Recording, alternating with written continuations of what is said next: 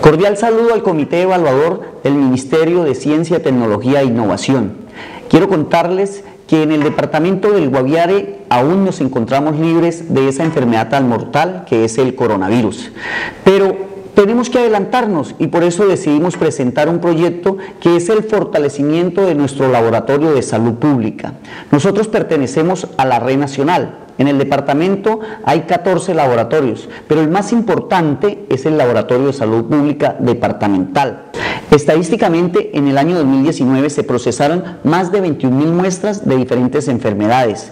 Es importante resaltar que desde el año 98 somos centinelas para febriles de diferentes enfermedades, como el dengue, el chuconguña, la lesmaniasis. Adicionalmente, en el año 2005 nos convertimos en centinelas para enfermedades diarreicas agudas en menores de 5 años, como la salmonela, el rotavirus y otras enfermedades que afectan a nuestra niñez.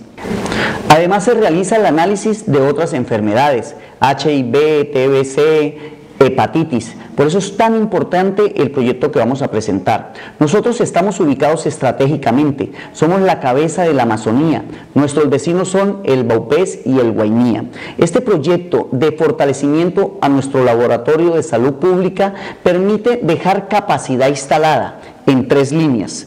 Adecuación de nuestra infraestructura, Dos, la compra de equipos robustos, especialmente máquinas para el procesamiento de PCR con el fin de analizar partículas virales. También cabinas de flujo laminar y otros equipos biomédicos que son importantes para los diferentes análisis de las enfermedades del departamento del Guaviare. Es importante capacitar a nuestro talento humano, por eso hace parte como línea prioritaria en este proyecto. Nosotros deseamos que nuestros profesionales puedan participar en capacitaciones en las diferentes universidades del país, en los diferentes departamentos, pero que esos profesionales vuelvan al departamento y capaciten aquí a nuestros médicos, nuestros bacteriólogos y los que trabajan en el laboratorio, con el fin de que esta capacidad instalada les sirva no solo para el presente, sino para el futuro de nuestro departamento del Guaviare.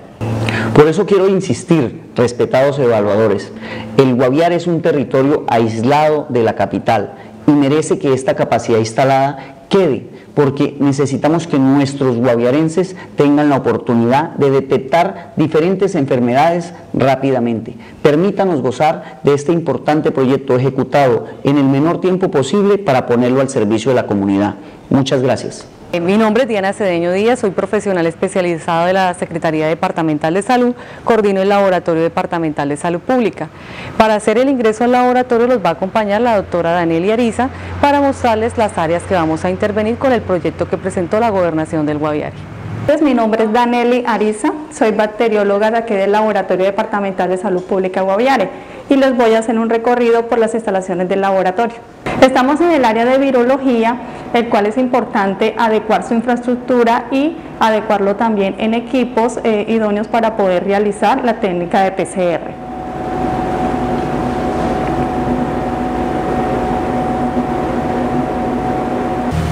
Este es el área de recepción de muestra, el cual es importante eh, dotarlo en aquellos elementos de bioseguridad para poder eh, recepcionar las muestras que llegan a diario. De igual manera también es necesario terminar eh, toda su infraestructura.